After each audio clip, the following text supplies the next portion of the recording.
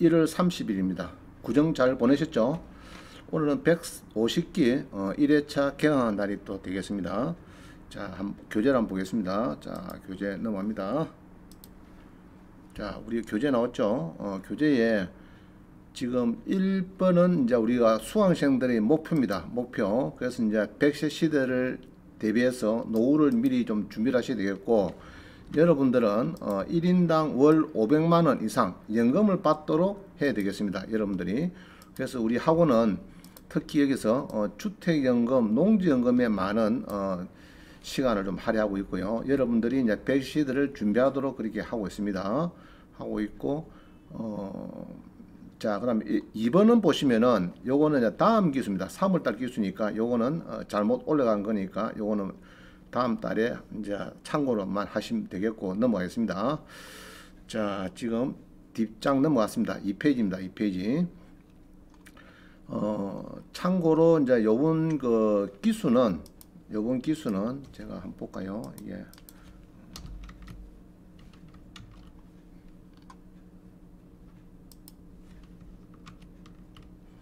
자, 넘어갔습니다.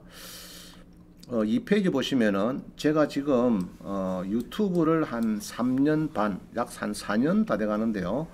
지금 유튜브 강좌가 어, 지금 1093강이 등록돼서 여러분들이 주제별로 찾기가 어렵습니다. 그래서 동영상 목차를 가지고 어, 155개 유형이 있습니다. 그래서 여기 주제별로 했기 때문에 여러분들이 경공매를 하시면서 의문사항이 나온다든지 급한 문제가 나왔을 때 여러분들이 이 주제를 가지고 어, 동영상을 검색을 하면 되겠습니다. 하면 되겠는데 예를 들면은 이제 잔금 대출이 필요하죠. 어, 낙찰받고 한 달 뒤 잔금을 내야 되는데 그 잔금 대출에 대해서는요 강좌가 이런 많이 있죠. 24강부터 1060강이 있는데 가급적이면은 뒤에서부터 하는 것이 좋습니다. 이게 최근 강좌고 이제 요게 이제 좀 오래됐죠. 그래서 이제 뒤에서부터 들으시면 되겠고요. 요 강좌는 어, 유튜버 또는 네이버입니다. 여러분들이 그럼 유튜브나 네이버에 가서 여러분들이 검색하시면 되는데 자 한번 해보겠습니다. 여러분은 기, 경매 기초가 약하다 이런 분들은 1016강을 보라겠죠. 1016강. 자 그러면은 이게 우리 이제 어, 네이버나 들어갑니다. 그죠? 어, 네이버나 자 우리 네이버 갔죠. 네이버 가셔가지고 황경진 황경진 천, 천 16강 뭐 이렇게 치면 되겠습니다. 치면은 이렇게 해서 이제 쭉 나옵니다. 그죠? 어, 나오죠. 밑에 여기 보면은 이제 어, 아, 비교네요. 1016강에 이렇게 이제 동상이 있습니다. 그럼 동상 누르면은 여러분들이 얼마든지 화면을 크게 해서 어, 노트북이나 스마트폰을 볼 수가 있습니다. 그럼 1016강, 그죠? 1016강에 이런 강좌를 볼 수가 있어요. 자, 그러면은 이제 네이버에서 볼 수도 있는데 요거를 유튜브도 볼 수 있느냐? 그럼 유튜브 가죠. 유튜브 가서도 마찬가지입니다. 황경진 1016강 해서 누르시면은 이 강좌를 볼 수가 있습니다. 그럼 이 강좌를 보시면은 여러분들이 많은 도움이 될 겁니다. 그래서 요거는 이제 보는 음, 유형만 설명을 드렸고요. 자, 다시요. 그래서 여러분들이 목차별로 좋아하는 가등기 어, 그 다음에 뭐 여러 가지 있습니다. 있으니까 요게 주제를 잘 찾으셔가지고 가나다 순입니다. 그래서 찾기가 쉽습니다. 그럼 요거를 쭉 특히 농정금이죠. 어, 농정금 53번 농정금은 29강부터 1078강이다. 그러면은 DS부터 농지가 많이 좀 바뀌었습니다. 농지법이 개정되면서 그래서 DS부터 어, 보고 오는 것이 채금법을 넣었기 때문에 좋다 이렇게 봅니다. 그럼 농지연금, 농지대장, 그죠? 농지취득 자격증명서 미해출. 예로 농지인데 묘가 많더라. 그러면 농정을 잘 발급을 안 해주라겠죠. 면사무소에서. 자, 그럴 때 탈출하는 방법입니다. 그래서 쭉 이제 어, 주제별로 있으니까 이 주제를 여러분들이 찾으실 때 가나다 순으로 무슨 문제가 부닥치면 하시면 되겠고 아파트를 좋아하면은 요 강좌를 보시면 됩니다. 그 다음에 여러 가지 어, 유치권 여러분 잘 아시는 유치권 그 다음에 인도 명령 쫓아내는 거죠 어, 점유자를 이제 나가게 하도록 하는 인도 명령 그 다음에 여러 가지 오늘은 이제 특히 어, 요 세 가지입니다 세 가지를 강의를 많이 들을 거예요. 임차권, 양도, 양수 계약서, 입찰 금지, 입찰 대행, 입찰 보증금 몰수된 사례. 아, 요거를 할 겁니다. 그동안에 어, 선배 교수님 쭉 해왔고요. 그럼 오늘부터는 이렇게 쭉 하시면은 아마 쭉 나가지고 아마 이게 어, 소액 투자, 지분 낙찰까지 이리 쭉 이렇게 순서대로 나갈 겁니다. 그래서 쭉 나가다 보면은 마지막에는 이제 MPL, 어, 여기에 강좌가 있습니다. 그래서 여기에 MPL 하고 싶으면은 어, 유튜브나 네이버에서 195강보다는 1084강 가는 것도 좋다. 제가 설명드렸습니다. 그래서 자기가 부닥치는 주제별로 찾으셔가지고 어, 들어가서 강좌를 보시면은 좋습니다. 어, 좋 때문에 이렇게 분류를 해놨습니다. 여러분들 보시고 많은 도움 되기를 바랍니다. 자, 그 다음에 음, 자 이렇게 해서 많이 이제 참고를 하시고 보시기를 바라고요. 자 4번 봅니다. 4번 경기도 안양시에 51% 저감된 아파트 낙찰한 문제입니다. 지금 아파트가 많이 떨어졌죠. 그래서 경기도 안양에 8억짜리가 51% 떨어지는데 우리 교재 보듯이 임차인이 없대요. 임차인이 없으면 전부를 소유자가 점유한다. 그러면은 막 큰 문제는 없을 것 같습니다. 자 그런데 문제는 이렇게 절반가로 이렇게 떨어지다 보니까 보니까 이 조회 동향을 가보니까 이게 유효 조회수가 85명이 나옵니다. 그럼 요거는 5분 이상 어, 본 사람들이기 때문에 상당히 관심 있게 보고 있는 물건이다 이런 얘기죠. 자, 한번 들어가 보겠습니다. 22에 101442 자, 22에 2022 타격입니다. 22에 10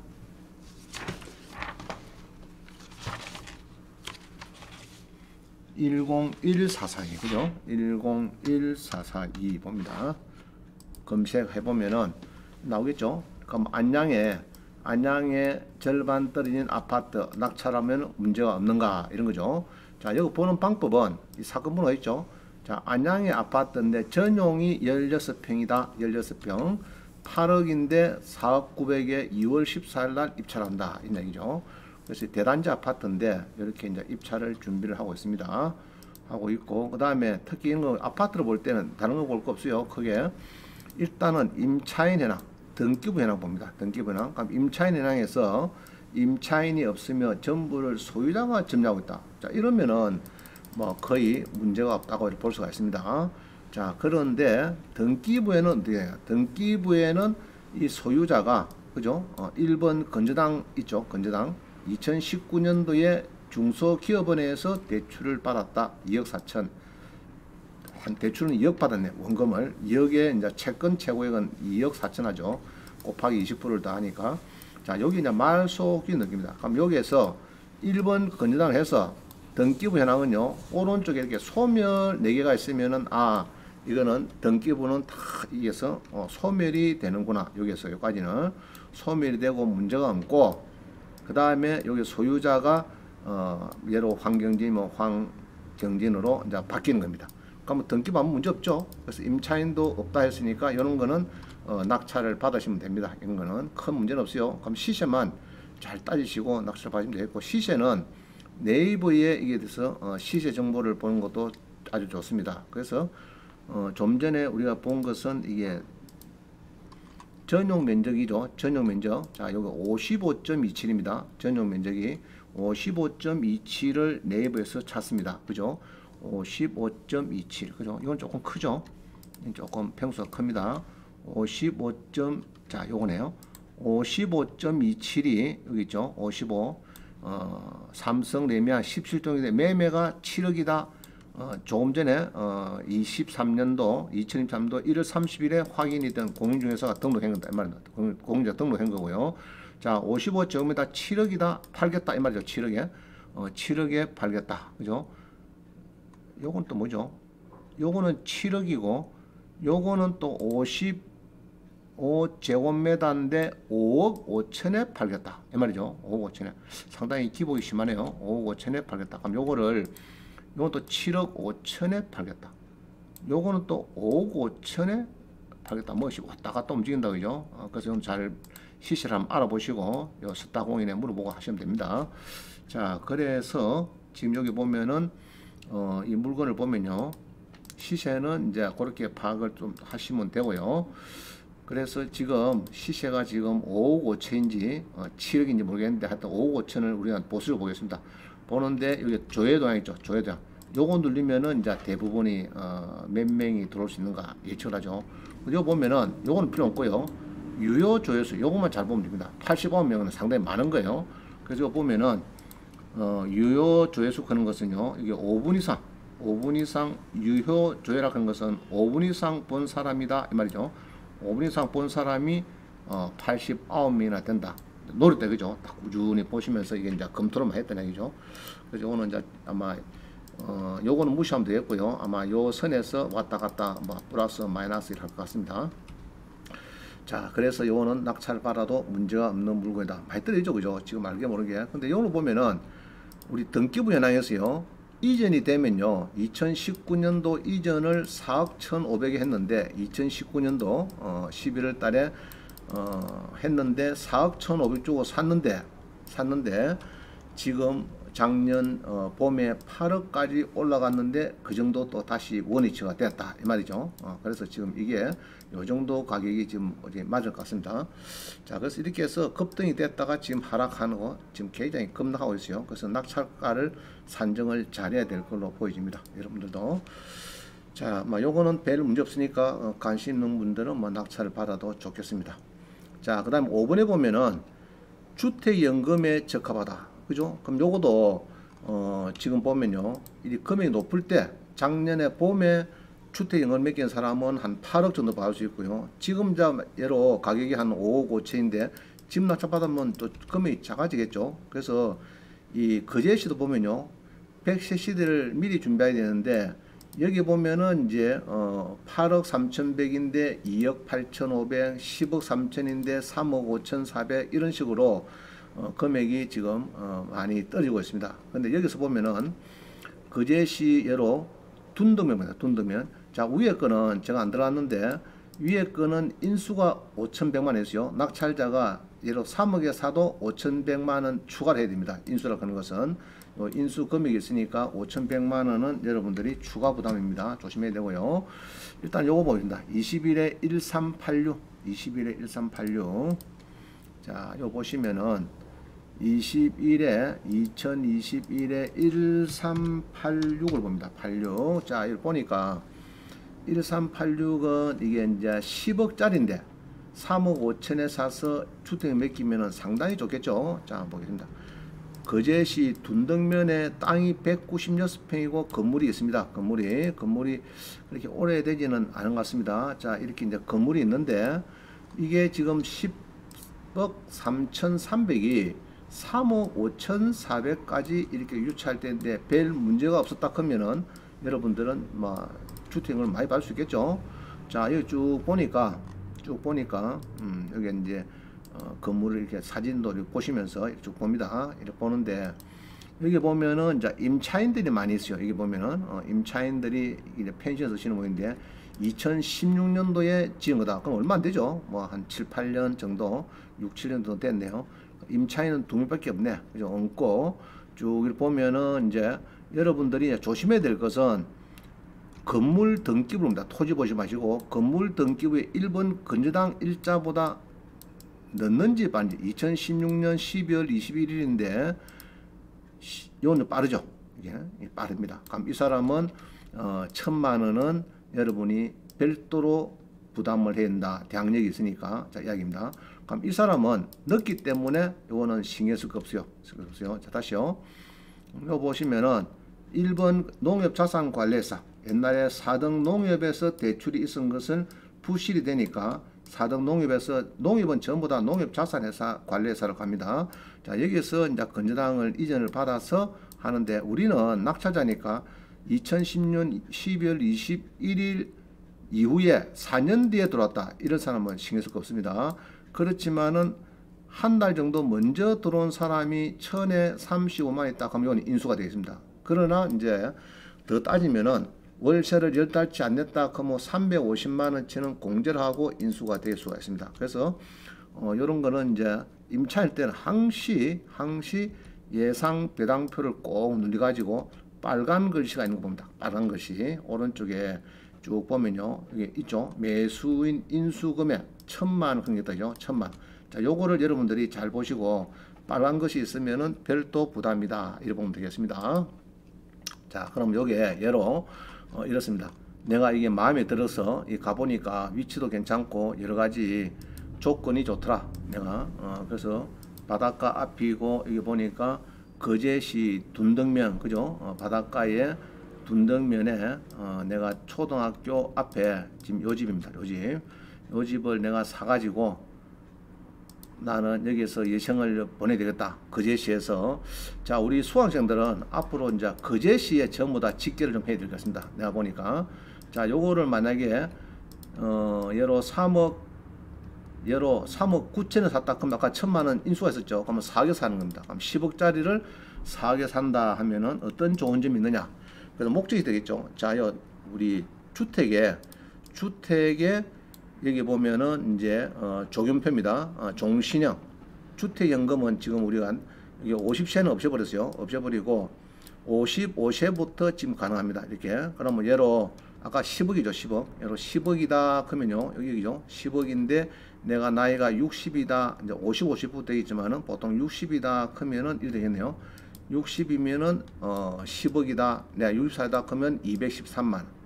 65 같으면은 250만 원, 70 같으면 270만 원, 55 같으면 160만 원을 평생 배우자가 사망할 때까지 준다. 자 그러면은 뭐 괜찮은 거죠. 어, 10억짜리를 내가 한 4억 가까이 낙찰을 받아서 어, 받아서 평생 평생 어, 예로 60세다 65세다 하면은 요 라인이거든요. 어, 여기 60입니다. 60. 그래서 이제 10억을 예로 4억에 낙찰 받아서 평생 월 200만 원 받고 그 다음에 어, 월세도 안에 적정히 나시면 되겠습니다. 월세는 공짜입니다. 공짜. 자, 그 다음에 6번입니다. 6번 보면은 거제시 수월동에도 이렇게 16억이 5억 들였다. 그 다음에 이게 연초면에 18억이 6억 들였다. 이렇게 많이 있습니다. 그래서 여러분들이 이제 시골에도 여러분들이 좋은 집을 낙찰 받아서 어, 특히 경기도 인근에 어, 데 낙찰을 받아서 한 30% 40%를 받으셔가지고 연금 맡기는 것도 좋습니다. 자, 근데 상가도 되냐? 상가도 됩니다. 상가도 2분의 1 이상인 그 대신에 주택 면적이 좀 커야 됩니다. 상가보다는 절반에서 어, 조금 더 커야 됩니다. 상가가 더 크다고 하면 안 되는 거예요. 하여튼 주택 면적이 2분의 1 이상 되면은 연금 대상이 됩니다. 자, 우리 당진 한번 봅니다. 당진 22에 604 보겠습니다. 2022에 604. 자, 우리 당진으로 올라갑니다. 당진에. 자, 당진의 당진시에 이 걸린 주택이 내가 마음에 들고 있다. 그러면 계속 뭐 지금 팔리든지 다음에 팔리든지 또 떨어지겠죠. 자, 보입니다. 당진에 걸린 주택이 나왔는데 땅이 113평이다. 그죠? 13평이고 건물이 이런 집이 있습니다. 당진에. 집이 어떻습니까? 괜찮죠? 어, 집이 잡아도 막 괜찮은 것 같습니다. 깔끔하게 지은 집 같네요. 자, 집이 막 좋습니다. 자, 보니까. 자, 지은지는 얼마인지 모르겠는데, 자, 15억짜리가 한 7억 정도 떨어졌습니다. 그죠? 만약 15억짜리가 7억 정도 떨어졌고, 여기서 보면은 임차인이 좀 꽤 있습니다. 쭉 보니까 임차인이 많이 있죠. 그래서 임차인은 인원은 막 무시하고요. 보증금은 6억에 월세가 121만이다. 그럼 뭐 여러 여기 월세만 600이다 그러면은 600에 100만 원 한 700만 되죠. 한 700만 원 정도 받습니다. 그러면은 이게 별 문제가 없으면은 어 내가 낙찰을 받아서 음 15억짜리를 한 7억이나 그죠? 15억짜리를 예로 7억에 반다 절반까지 반다 그러면은 어 주택은 뭐 되죠? 12억이 넘어버리니까 더 안 주죠. 12억 그러면 이제 이게 어 예로 70이다 그러면은 예로 12억이다. 12억이다. 감정이 12억이다 그러면은 여기 보면은 70세다. 65세다 그러면 65세다 그러면은 260만 원. 그죠? 60세 같으면 한 250만 원 정도 어, 10억이 나오면은 한 250만 원. 60세입니다. 60세.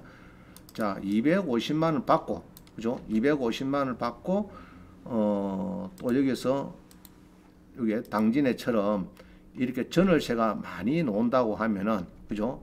이게 6억 500에 한 120만 원 정도 많이 나오죠.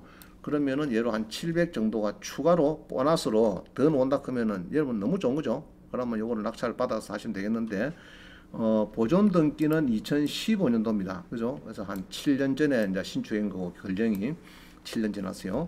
그래서 이런 걸 낙찰 받아서 여러분들이 노후를 준비하는 것도 좋다 이렇게 봅니다. 그래서 여기서 이제 어 등기부가 이게 토지 건물부터 토지가 있는데 항시 예상 배당표를 넣으시고요. 일단은 여러분들이 빨간 글씨가 있는 거 봅니다. 빨간 글씨. 빨간 글씨가 없죠? 이게 없습니다. 제로니까 인수하는 금액은 없다 봅니다. 그럼 낙찰이 되면은 이렇게 쭉 이제 배분이 될 건데 이렇게 해서 이제 지금 문제는 요 배당을 못 받는 사람들이 있습니다. 그럼 이 사람들은 어떡하냐? 근데 시간 문제지 결국은 다 나가게 되어 있습니다. 그래서 여러분들이 이제 어 여분들은 이사비를 좀 많이 주시고 뭐 세대당 한 500만 원씩 정도 주면은 뭐 좋아하시겠죠. 음, 그렇게 해서 여러분들이 이사비도 감안해서 낙찰을 받습니다. 받아가지고 예로 어 15억짜리 정도 요거를 한 6, 7억에 낙찰 받았어. 여러분들이 연금도 어 이렇게 쭉 보시고 65세 같으면은 한 200, 한 60만 원 받겠네요. 받고 아까 월세도 보너스로 추가로 받아도 된다. 그 이야기입니다. 그래서 주택연금에 많은 관심 가지시고요. 자, 거제 또 6번에 보니까요. 거제도 16억인데 5억 떨어지고, 그죠? 그 다음에 또 연초면에도 18억인데 6억 떨어지고, 아, 아까 한 거네요. 당진에도 보면은 이렇게 해서 이제 많이 떨어지고 있습니다. 그래서 이제 주택연금을 여러분들 연구를 하셔야 되고요. 그러나 이제 입찰 금지 물건이 있어요. 입찰 금지 물건이 뭐냐 하면은 이반 건축물이 된 게 많이 가끔 있습니다. 근데 거제시 장평동 같은 경우에는 입찰 금지 물건이다. 왜냐 하면은 어 2019년 4월 23일 이후에 적발된 어, 이반 건축물은요 딱지가 붙어버리면은 사회만 납부하는 것이 아니고 시정할 때까지 원위치할 때까지 매년 이행강제금을 부담해야 됩니다. 자 다시 무슨 이야기를 보겠습니다.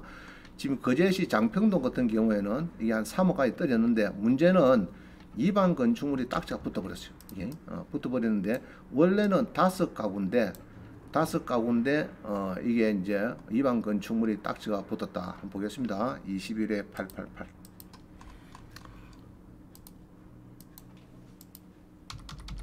자 보시면은요. 거제시 장평동 같은 경우에는 토지 면적이 좀 작습니다. 80배 안 되죠. 어, 면적이 조금 작은데 여기에 이제 집은 뭐 그런 대로 좋은 것 같습니다. 좋은데 문제는 항시 이 건축물 대량을 꼭 눌러보세요. 다 붙어 있을 겁니다. 건축물 대량 눌러보니까 아이구야 이방 건축물 딱지가 붙었구나. 그죠? 다섯 가구 원래 맞는데 자 여기 왼쪽에 보면요 이 가구수가 안 나옵니다. 안 나오는데 항시 가구수는 우측 상단에 보면은 이쪽에 보면은 가구수 나옵니다. 그럼 다수 가구를 초과하면 안 된다 이 말이죠. 안 되는데 여기 이제 딱지 붙은 내용은 저 하단에 보면 있습니다. 쭉 이렇게 보시면은 요 노네 2020년 7월 13일에 다가구 주택의 어, 가구 간 경계벽을 정설했다. 2층을 두 가운데 내가구, 3층도 두 가운데 내가구 이러면 안 되죠. 어, 이렇게 해서 이제 해서 불법 대수선하고 또 단독주택 용도 외에 지상 4층에 87제곱미터 불법 정축했다. 그럼 여기에 뭐 임대가 잘 나가니까 불법 정축까지 해갔는데 한 25평 정도를 또 옥상에다가 지었다. 4층에 어, 옥상에다가 이렇게 지어가지고 영업을 하니까 어, 지금 임대를 낳고 하니까 딱지가 붙은 겁니다. 그 딱지 붙은 거는요. 제일 중요한 것은 이 날짜입니다. 날짜. 이 날짜가 이게 어, 2019년 19년 04월 23일 날 이전에 딱지가 붙은 거다 이러면은 사회만 내면 됩니다. 이행강제금을 사회만 내면은 끝 예, 끝입니다. 끝이 되는데 요거 이후에 딱지 붙다 크면은 요거는 시, 정할 때까지 시정시까지 무한대입니다. 무한대 이행강제금을 물어야 됩니다. 이행강제금도 내가 월세를 2천만 원 받는데 4천만 원 온다 그러면은 할 필요가 없는 거죠. 근데 이제 월세가 5천만 원 나오는데 이행 강점이 천만 원이더라. 뭐 이러면은 뭐 그냥 두도 되겠습니다. 두도 되겠는데 너무 많이 나오는지는 구청에다가 물어보시면은 요 같으면은 거제 시청에 물어보면 답을 건축가 물어보면 잘 알려줍니다. 어, 매년 얼마씩 나오는지. 그래서 오늘 이제 어, 딱지도 어, 2019년 4월 23일 날 했기 때문에 조금 문제가 있는 겁니다. 그죠? 어, 시정할 때까지 이행 강제금을 물어야 됩니다. 내부만 무는 것이 아니고 자 이게 조금 문제가 됩니다. 그래서 장평동 건은 이게 숫자는 딱 좋습니다. 24%가 좋은데 이방 건축물에 대해서 어떻게 해결할 것인지 요거 어, 요 요거를 딱지를 어떻게 요거를 해결할 것인지 어, 시청 가서 한번 상담해서 낙찰을 받으시면 되겠습니다. 그래서 이런 물건들이 많이 있습니다. 진짜 또 10번 봅니다. 10번.